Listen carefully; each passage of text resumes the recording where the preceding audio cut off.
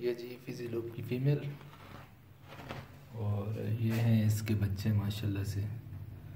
Almost अभी हो गए हैं सर्फ तकरीबन खाना पीना शुरू हो गया लेकिन 10-15 दिन तक इन कम्प्लीटली सर्फ हो जाएँगे।